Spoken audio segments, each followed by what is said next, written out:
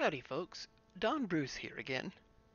So, in our last video we ended up splitting off a bunch of faces from the body, and I split the doors off, but after second thought I decided that probably wouldn't be good. I mean, you're going to have the jank of the door clipping through that pinstriping thing, and then you're going to have this one clipping through the side fender.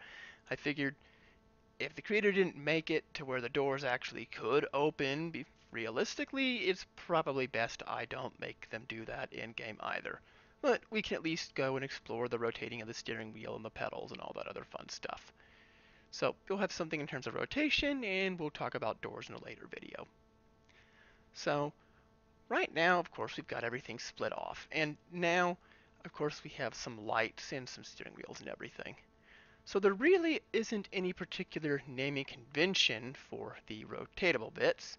So we're going to go and name them however we want. I'll just call this guy here steering wheel. And this one here, these two box thingy entry things, have to match exactly. If they don't match, then it's going to corrupt your names when Blender exports it or do something even nastier. So always make sure these match. And in fact, if you were to copy body model, it would add suffixes and change everything. So triple check that before you export things. If you have a different system of exporting stuff and it comes right from, say, a Blockbench or a FMT, then this may not apply. So anyways, we have that. I'm going to call that gas, because that's the gas pedal. And then this one is going to be the brake. And then this one can be the gear shift.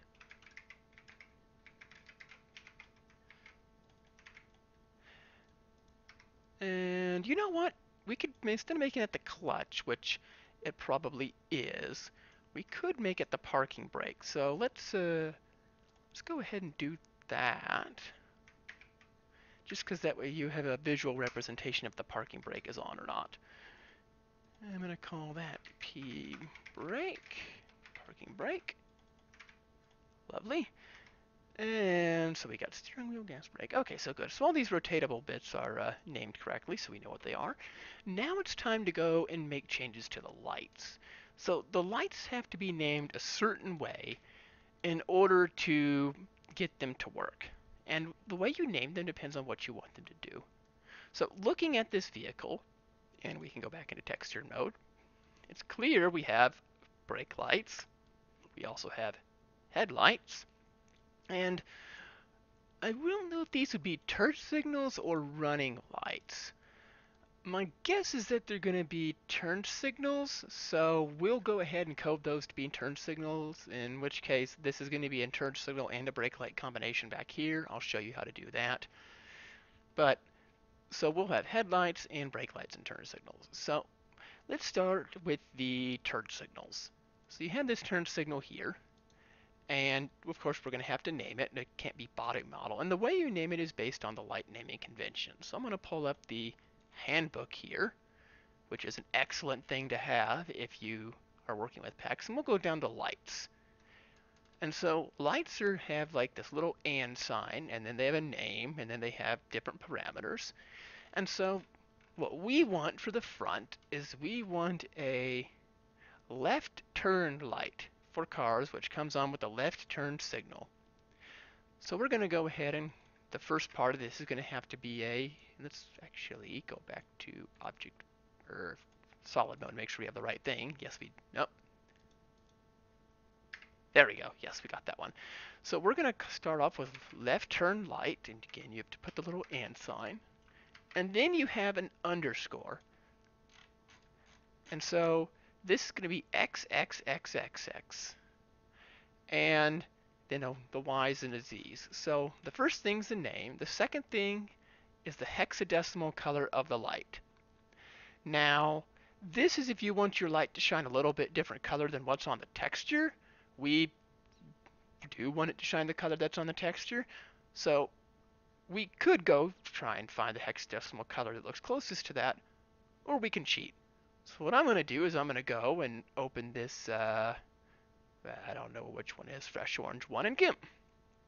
And GIMP's going to go ahead and do its loading.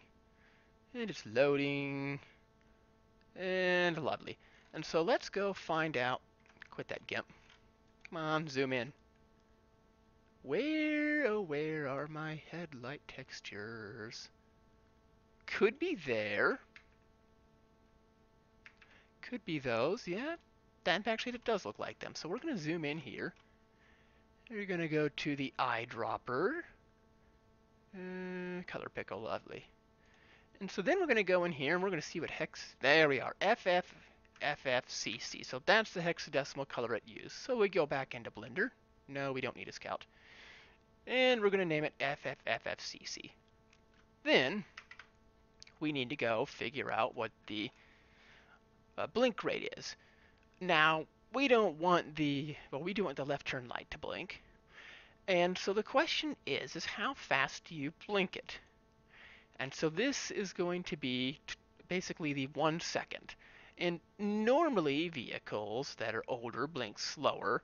And so I'm just going to set it to be, uh, well, what the heck is that on there? This looks like Don made an oops on the handbook. But uh, anyways, we're just going to go and use this because this was supposed to be like that. 1, 2, 3, 4, 5, 6, 7, 8, 9, 10. Yeah. 10 ones and then 10 zeros are going to be FFC 0 and it's on for 10 ticks and off for 10 ticks, which is a nice steady slow blink rate. So I'm going to put that over there. And you know that's going to bother my OCD, so we're going to go ahead and fix that. FF, FFCC. It doesn't matter if it's capital or not, but it matters to me. So then you have that. Now you have this. So this is going to basically be 1 or 0. So it could be 1, 1, 1, 1, 1, 1, 1, or 1, 1, 0, 1, 0, 1. And this basically says what part of the light we want to render. So the first here says, do we render the lens flare? Well, yes, we want to render the little flare, nice bright spot for this turn signal. So I'm going to put a 1 here. Then the do we render the color that we specified when the light is on? Uh, yes. Then do we want a glass cover over the light to make it fancy? Of course we want a fancy light. And this fourth one here is if you have beam settings and you don't have to include it for things that don't have beams, and since turn signals don't have beams, we're not going to include it. So we're just going to put that right there. Lovely. Then of course we got to go to this other light, and that's just going to be pretty much the same thing, except we're going to call it right turn light. And a right turn light. And so then we have that. Now let's go on to the headlights. So headlights are going to be a little bit different. And because the problem with headlights is whenever you turn a headlight on, it goes and renders a beam. And if you were to turn this headlight on right here, it would render three beams. We don't want that. We only want it to render one beam. And also looking at this, that should be a headlight too, but it's not part of the same shape. So what we're going to do is first of all, we're going to just go ahead and uh, combine this shape and this shape because they should be the same. They're both headlights. And the second thing we're going to do then is we're going to take this face here, which is going to render our beam, and this face here, which is going to render our beam, and we're going to split those into different faces, and it'll become why, know, uh, apparent why in a moment. But for the moment, we've got these four little little spots on this particular body model. And so Er, no, that's the inner ones. See, dang it, Blender, why you gotta play with me like that? Okay, so we have these. And then we have, uh, where is it, this guy. So we're going to focus on this guy first. These are our two headlights. So again, we're going to need the light names, and this is not going to be right turn. This is going to be headlight. Let's go make sure we have the right formatting. Do, do, do, do, do, do, do, navigation light. Headlight, okay, so it's, okay. Now we don't want this yellowish texture for that. We want it to be all white and bright, so we're going to do FF. We also don't want it to blink. And of course we want our glass, we want our flare, we want everything else. So lovely stuff for the headlights. Now, if you come down here to these particular parts of the headlight, we don't want these to have a flare but we want them to basically match these headlights right up here. So what you can do is you can come down here and add this extra zero. And what that's going to do is right here when it talks about the light parts, the fourth number is optional. If set, it will override the beam setting for this light to either render, if it's a 1, or disable, if it's a 0, the beam. And so, in this case, we're saying, hey, this is a headlight. You're going to come on with that other little spot of texture is on, but you're not going to render a beam. And in fact, we probably don't want it to render a flare either, because then you'll have a bunch of lens flares there. And so we're going to go ahead and put a 0 on that as well. And so what that'll do is you're going to get a little glass texture over all of that. And then you're going to end up with a lens flare on just this one center one and then bright spots on the other. So lovely stuff. So there's our headlights, there's our turning lights. That's the whole front end taken care of. Now we got to go take care of the back end. So the back end, of course, uh, the problem is is that we have to have both a brake light and a turn signal if we want to have the turn signal match on the front. But you can only have one light named one thing. So what we're going to use is if you come over here, you have a brake light, which comes on when the brake is pressed. You have a, back, a right turn light and a left turn light. But you also have a left indicator right light and a right indicator light. And the only difference between these two lights are is they come on only when the brake light is off. So basically what that means is if you have your brakes on, the brake light will show up. If you have your left and your right indicator lights on, then they'll only start blinking when the brakes aren't pressed. So basically it means is if you're stepping on the brakes, that's going to override your turn signals. If you're not stepping on the brakes, then your turn signals will blink. And the idea is that uh, because your indicator lights here are on and will blink only when the brake light is off, you won't end up with funky double blinking. So let's first of all make those brake lights because they're both brake lights. And then we also need to make the indicators. So let's actually let's make the indicators first, and I'll show you why in a moment.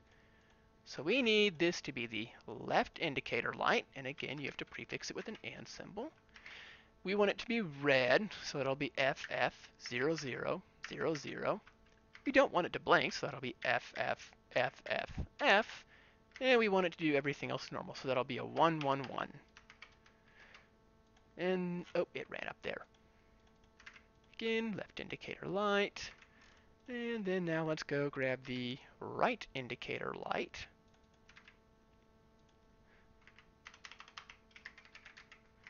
And then the right indicator light. So now we have these guys blinking, but they won't come on when the brakes are on. So all you got to do is select him, hit the P key, and this is going to be kind of funky. So you select him, and you can go to Object, duplicate objects. And so that's going to duplicate these lights. And we're just going to hit escape because we don't want to move them. And let's see if that's going to... No, it's not going to duplicate them. Come on. I don't want to duplicate the objects and move them. I just want to duplicate them. If I don't hit... There. you don't just don't touch the mouse and you hit enter and you should be okay. So you have these guys here. And actually we're going to hit Control J to join them together. Because right let's hopefully I didn't screw that up. Right indicator light. Yeah so see how it did a funky thing? It took the left indicator light here and then like renamed it and then renamed those two we made. It that's why it's being kind of squirrely. So we'll just let, us take this indicator light and rename it because Blender wants to be smart don't you Blender Make sure that's named right. We'll turn that invisible so we don't accidentally click on it.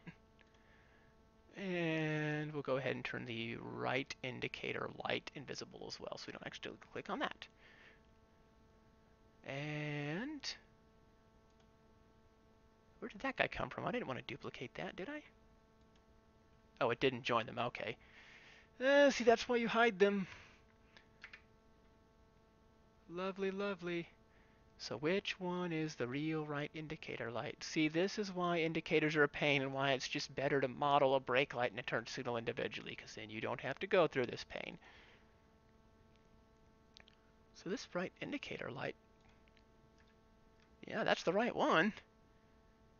And then you have this guy, which is there. Make that guy invisible. Okay, so I got the right and then the left. We're going to join them. No. Did I do something wrong? Again, Blender's not my forte. I apologize. But this looks looks okay. So you have the ooh, did I No, I didn't make that one joint. Okay, good. There, so that's invisible. Now we should have, yes, okay, see, what I was looking for is the little hole to appear because it means both my indicators are invisible and my new ones aren't. So now we can delete that and just call it brake light. There we go. And then we can make these guys come visible again and we'll be able to uh, be able to see everything. And for some reason we have two left indicator lights. Well, uh, yeah, we don't need that. Go away. right indicator light, right turn light, left indicator right, left turn light. Okay, yeah, that looks uh, that looks about right. Yeah, right and left. So now this model is pretty much ready to go in game. Uh, of course, there's some things you have to do actually now to set up the pack, but I'd say this model is actually pretty much drivable. So in the next tutorial, we'll go over how to set up a pack and put everything into it, and we'll go ahead and launch it and place down the model and game as kind of an initial starting place, and then we can start configuring things from there. For the moment, this is Don Bruce signing off.